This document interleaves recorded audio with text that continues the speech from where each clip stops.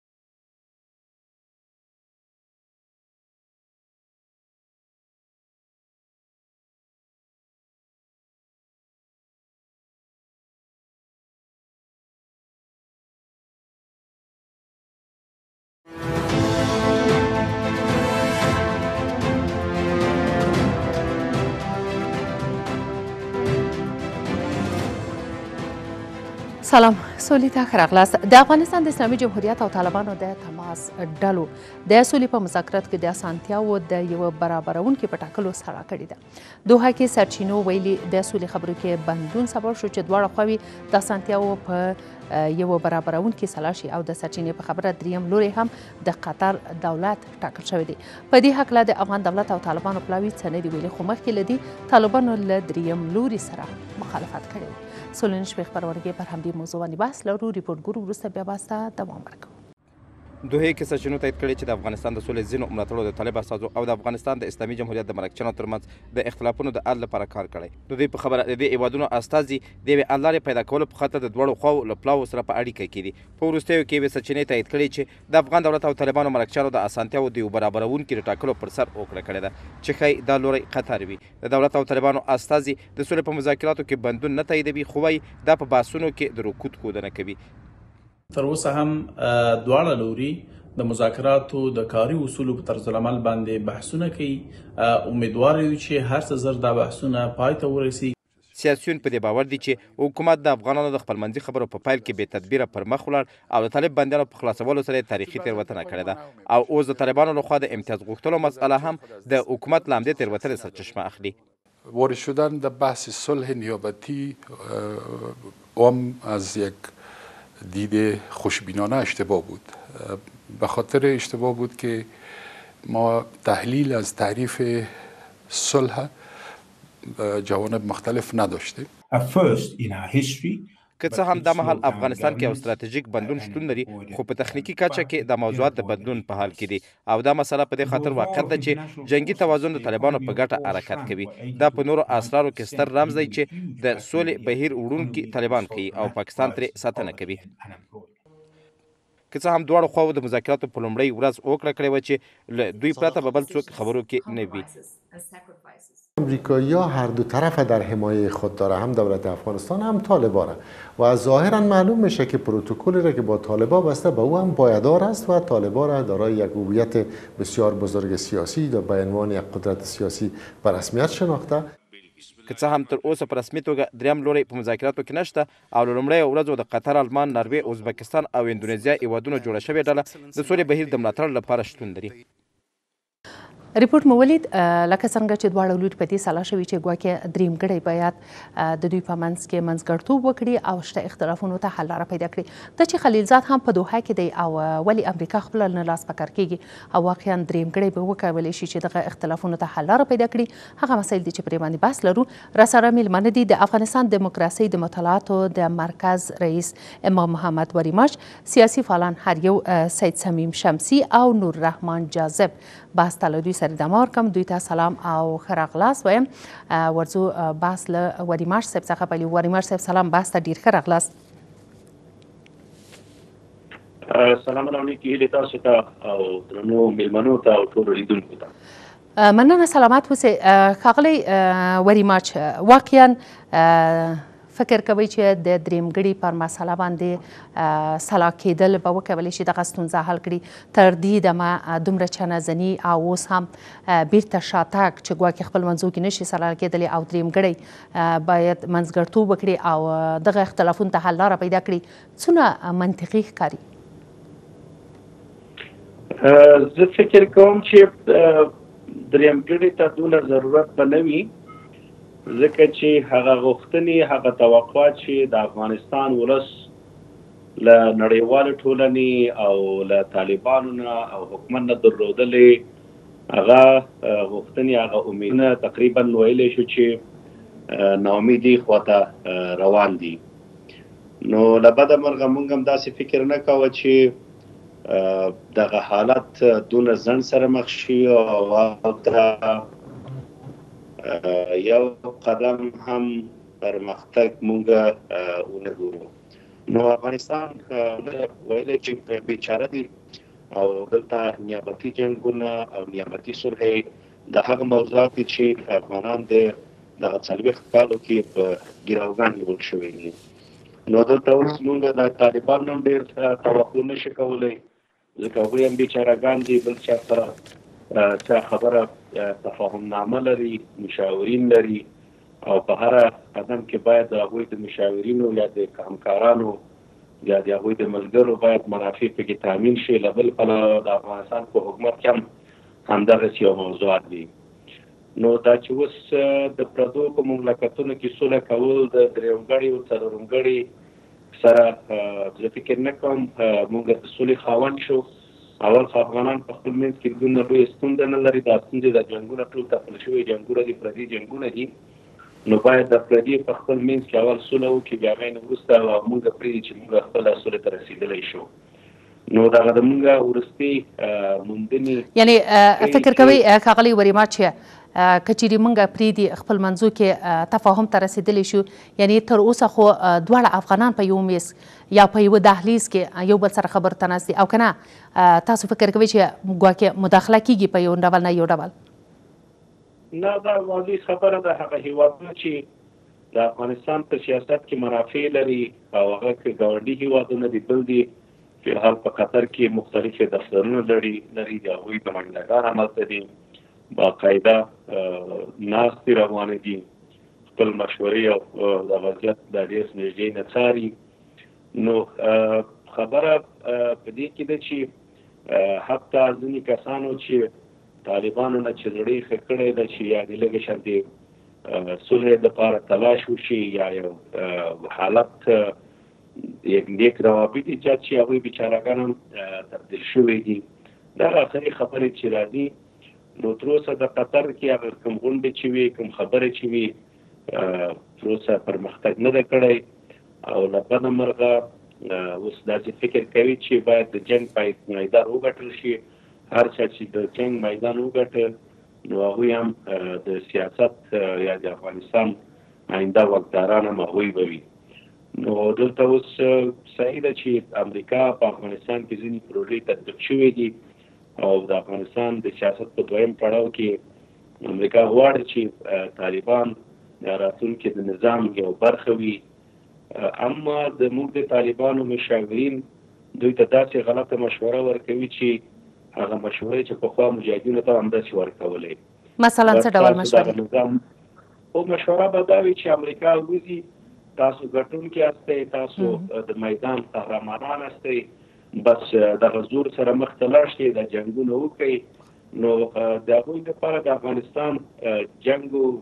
دربدري او بربادي مهم د هغوی لپاره د افغانستان ولس او طالب او حکومت او داخل هېڅ دوی ته اهمیت نه لري وایي څونه چې یو بل سره جنګ کولای شي وکړي څونه چې یو بل مړ کولای شي وکړي نو دلته اوس اصلي خبر هم دا نه ده چې واقعا طالبان د افغانستان په سیاست کې ګټونکي وي متاسفانه هغو که یو ځل مخکې هم ګټلی و ولې دوی سره د دوی هغه باندې معامله وشو نو اوس دلته باید هوښیاري په دې کې وي چې دلته اول د مونږ دا د نظام شریکان باید سره کینی او له سره فکر غور وکړي چې که چیرې دغه جنګونه ادامه پیدا کوي دلته خو ټول افغانان او افغانستان ولس تباه کیږي نو له بل پلوه طالبانو ته سره هم داسې یو بل چینل هم باید نظام یعنی حکومت یا دولت پرانیزي چې هغوی څنګه کولای شو بیرته هیواد ته راستانه کو دغه زمونږ مهاجرین چې په ګاونډي هیوادونو کې دي دوی بیچارهګان ټول دوی نه تقریبا ویلی شو چې سوی استفاده کیږي او دغه چې پروژو کې دوی نه کار اخیستل کیږي ډیره مننه ولی مات صاحب ډیر مننه بیا هم تاسو ته درګرځو ورځو شمسي صاحب ته شمسي صاحب تاسو هم ښه راغلاست وایم او غواړم ستاسو نظر په دې برخه کې ولرم چې ولی مخکې په دا ډول یو مورد باندې چې هغه د دریمګړي ټاکل دي یا په دریمګړي باندې د دواړو سلا کېدل بحث پرې باندې ونه شو یا مخکې ولی یو دواړه په دغه موارد باندې سلا نه شول بسم الله الرحمن الرحیم سلام حضور شما حضور آقای وری ماج و آقای جاذب بینندگان و شنوندگان محترم تلویزیون جهانی آرنا نیوز نخست از همه و هفته وحدت امت مسلمه و خصوصا ولادت با سعادت رسول مقبول اسلام و جهان اسلام خصوصا مسلمانان افغانستان تبریک و تهنیت میگم و امیدوار هستم به برکت پیامبر بزرگ اسلام در مملکت ما سال مستقر شد شما در جریان هستین که در تمام موارد جنگ و صلح بیشتر اجاب میکنه که خود اتباع کشور یا خود کسانی که زیان میبینن و ضرر میبینن اینا بالای از اینا توجه شود و اینا متوجه این نقطه باشه هر اندازه ای که من فکر میکنم اگر آمریکایی ها یا اتحادیه اروپا یا کشورهای منطقه تلاش خود مبنی بری به خرج بتن که گویا در افغانستان صلح مستقر شود ما و شما به یک صلح و امنیت دستیابی پیدا کنیم زمانی که خود ما و شما نخواسته باشیم و خود ما و شما اراده جنگ داشته باشیم خود ما و شما اراده ویرانی و بربادی افغانستان داشته باشیم یک اصل عمده و اساسی است که احتمال ضعیف میره که ما و شما به صلح دسترسی پیدا بکنیم فقلی شمسی یعنی د سولی څخه واقعا تعریف واقعي تعریف لري دواړه خواوې که هغه حکومت دی او که هغه طالب دی شما ببینین طالبان نظر به تفاهمی که یا توافقنامه ای که با ایالات متحده امریکا انجام داده بود و به او توی یک چیز گفته شده بود که بعد از رهایی زندان 5000 زندانی طالب وارد گفتمان بین الافغانی میشه حکومت افغانستان انعطاف پذیری کرده و 5000 زندانی حتی بیشتر از او را از زندانهای افغانستان رها کرده و نزدیک به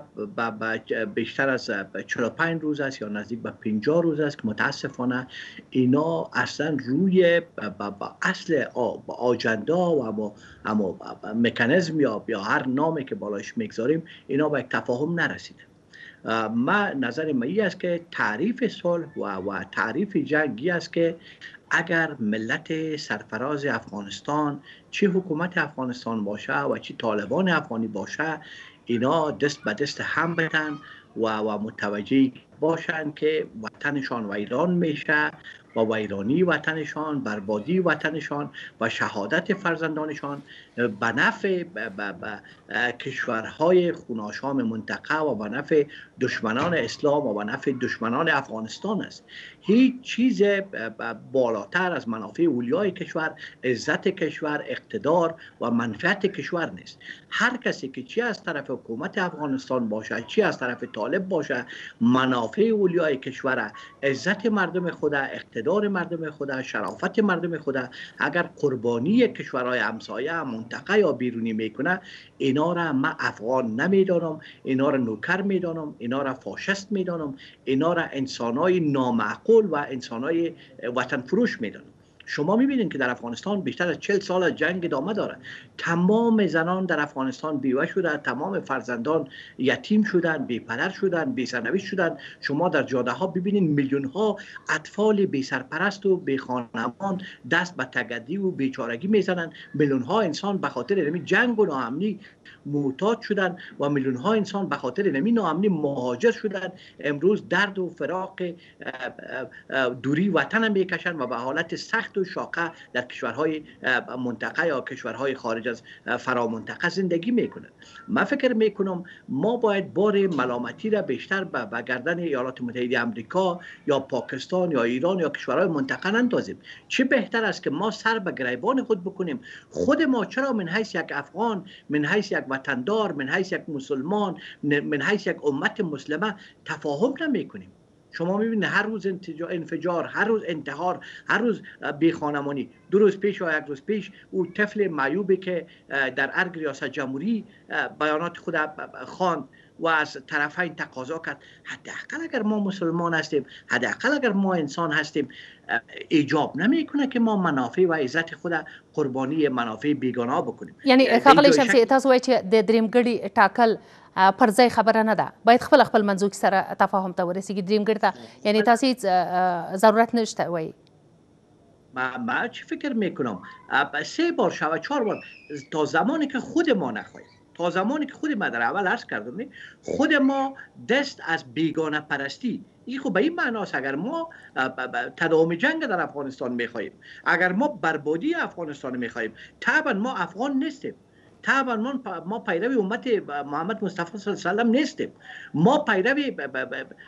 بیگانه ها هستیم ما یعنی در اشاره و در تحت رهبری کشورهایی که در جنگ و صلح افغانستان نقش داشته باشند ما نوکر از اینا هستیم یعنی, یعنی خغلی شمسی تاسو وایي چې طالبان دي او که حکومت د سولې لپاره ستراتیژي نه لري اصلا بحث شما ببینید که به صورت مجموع ایجاب میکرد که حکومت افغانستان یک استراتژی قوی و مدون پیش, پیش ترتیب شده را می داشتند ولی خود سر از این موضوع ما بارها بحث کردیم که حکومت افغانستان متاسفانه با نبود اجماع کامل ملی و با نبود اجماع منطقه‌ای و همچنان سیاست جهانی یک سری ناکامی های خود داشته حالا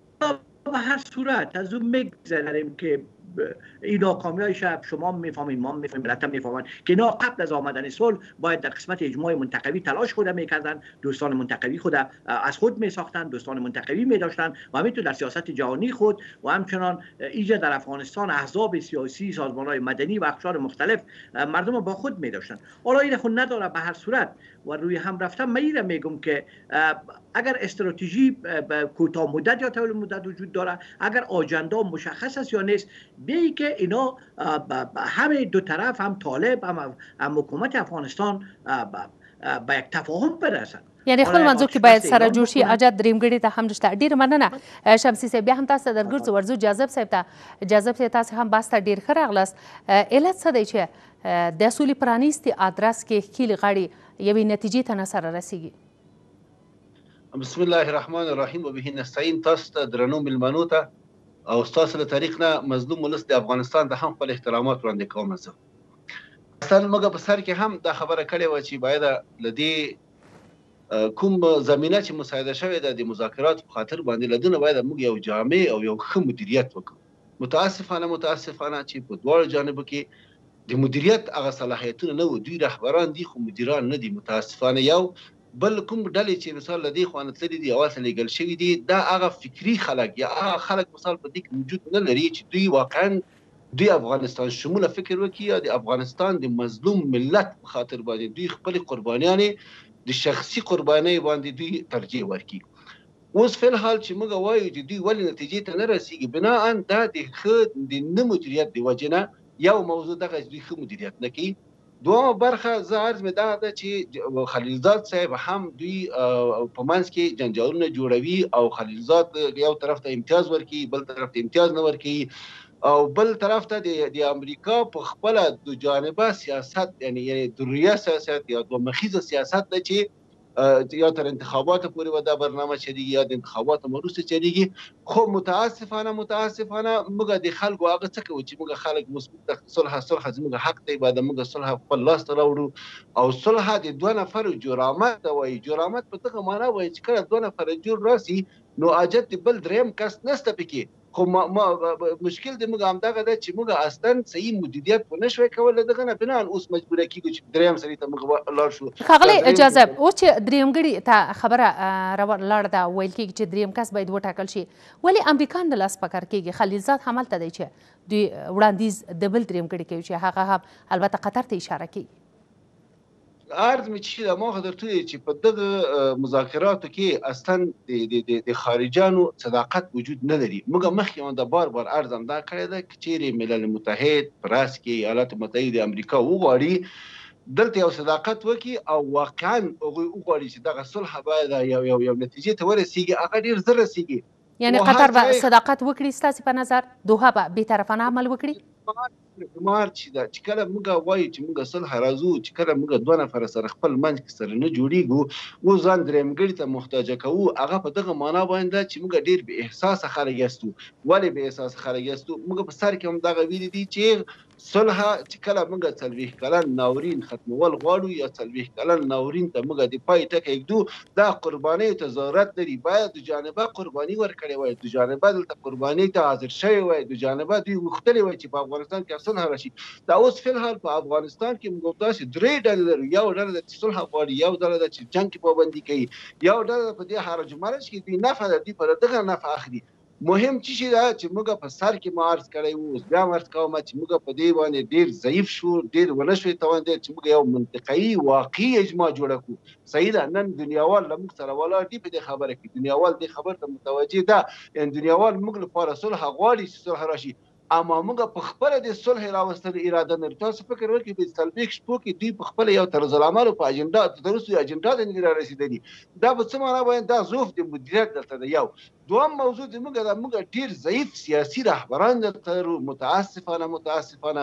دغه ضعیف سیاسي رهبریت ونه شوای توانېدلای چې مثال د دواړو جانب یا حداقل منطقې ته یا همسایه دا زموږ ګاونډیان ته قناعت فراهم کړی وای چې د افغانستان صلحه یې تا په ضرر باندې نه ده با وزیرش ډاکټر صاحب عبدالله هم سفر درلود اشرف ډاکټر صاحب اشرف غنی هم سفر درلود نور سیاسیون هم سفر نه درلود او جبل چې اما هر سړی چې دی یا هر سیاست مدار چې دی دا فقط خپل منافع او مد نظر کې نیسی یعنی فقلی جذب څه فکر کوي چې موږ خپل خلا بینه شو کولای او کنه د لابیګری مخه مو ډب ده او ګورئ زه عرض لرم مثال دا کوم ټیم چې هلته تللی دا په مذاکراتو کې بوخت دی دا دنیا په دې باندې پوه شوی ده او دوی خپل هم بار بار اعلان کړی چې موږ دغه صلاحیت نه لرو چې موږ یو فیصله وکړو د دواړو جانبه خبره هم دغه شوې ده موږ نور ته ورته وایو تاسو فکر وکړئ چې یو صلح فرمایشي وي او هغه فرمایش پذیر مثال دوه ډلې ته موږ واک اختیار ورکړی ده دا دوه څلوېښت کسانو ته موږ د پنځه دېرش میلیون خلکو واک اختیار ورته ورکړو چې تاسو زموږ په منځ کې کښېنئ او موږ ته یو صلح جوړه کړئ یو صلح راولئ اما متاسفانه دوی بند دي دوی دواړه جانب کې بند دي مثال هغه خواته مسیران چې دي طالبانو مسیران چې دي دا کوم ډله چې معرفي کړي باید هغوی ته جوابګوی اوسي زموږ ډله چې له دې خوانه تللې ده دوی باید دلته حکومت افغانستان جوابګوی اوسیږي که چیرې دوی کې واقعا د صلح یو اراده پیدا شي او واقعي او په حقیقي توګه یعنی یعنی یعنی دوی وغواړي چې په افغانستان کې سول هغه کې دغه لري نه ده ولی طالب هم پردای نه ده مثال د افغانستان د ما اردوی ملي او پولیس ملي او امنیت دوی هم پردي نه دي خو که چیرې دوی واقعا صداقت وکي او له دغه نه یو مدیریت کولای شوی نو نن به دغه داسې یو حالت نه نه نه موږ نه پیښیدلو په څه خاطر باندې زه وایم چې موږ اوس په لابیانو کې موږ مصروف یو موږ مخه ډب ده یعنی د هغه خلکو چې هلته پراته دي او هغوی غواړي چې زموږ په سرنوشت باندې موږ ته یو ښه سرنوشت وټاکي یو صلح موږ ته راولي متاسفانه دوی واک او اختیار کامل نه لري چې هر هغه صلح کې چې فرمایشات ډیر سي هغه هغه ناممکن خبره ده چې بیا په هغه کې هغوی فیصله وکړي ولې دلته له دې ځینې فرمایش ورکول کیږي د مثال ډاکټر صاحب اشرف غني د هم فرمایشونه ورکوي کې خواته د ملا برادر ډله ده هغوی هم فرمایش پر ضد فرمایشونه اخلي متاسفانه چې کله زموږ منځ کې فرمایشات له منځه لاړل او دوی واقعاً په خپل واک کې شول او دا مصلحین چې هلته تللي دي او غواړي د پنځه دېرش میلیون نفوس په خاطر وایي صلح راولي، دوی په هغه ساعت کې دوی کولای شي یو فیصله وکړي. دریمه خبره چې موږ کوله په ترکیب باندې ګوره د ترکیب مشکلات موږ درلوده د د د حتی تر دغه پورې موږ یو ورځ وویلې چې ګوره چې یو سړی چې یو چا په ژبه باندې نه پوهېږي څنګه کولی شي دا په دې ترکیب کې لاړ شي هغه وکړي او عملاً تاسو ولیدل دغه ټول مشکلات ګوره موږ تخنیکي مشکلات په په په دې په دې صلح ټیم کې لرو موږ موږ موږ نور سیاسي مشکلات لرو ولې سیاسي برخوردونه دي د افغانستان جنگ استخباراتي جنگ ده د افغانستان جنگ څلوېښت کلن جنگ ده دغه جنگ استخباراتو تمویل کړی ده د د هر ملک چې دلته منافع لاس ته یې ورنشي دلته ابدالابد صلح نشي راتلی یو موضوع دوهم موضوع که چیرې موږ خپل افغانان واقعا او اراده ونه کړو او صحیح جدي اراده ونه کړو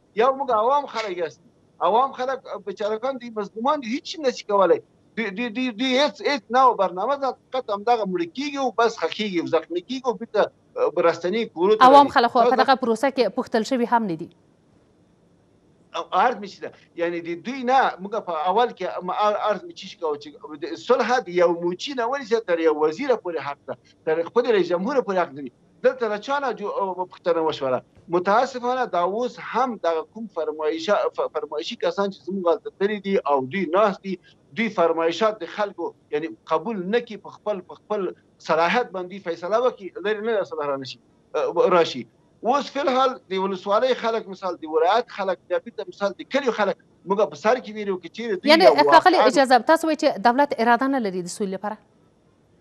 ګوره درې خبرې ما ما عرض به چی وکړ یو ډله ده چې دلته غواړي جنگ دوام پیدا وکړي دوام ډله دلته ده چې دوی صلح غواړي دریم ډله په دې حرج و مرج کې هغه ده تاسو فکر وکړئ چې یعنی حکومت دلته په کومه ډله کې راځي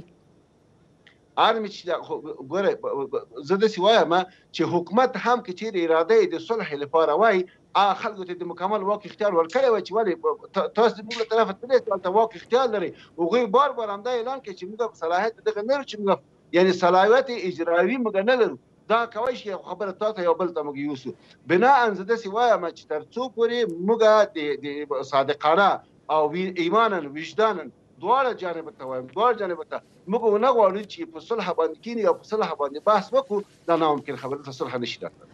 ډیره مننه جذب صاحب بیا هم تاسو ته درګرځو ډیر قدرمن لیدونکو تر لاندې دم وروسته بیا هم خبرونه دوام لري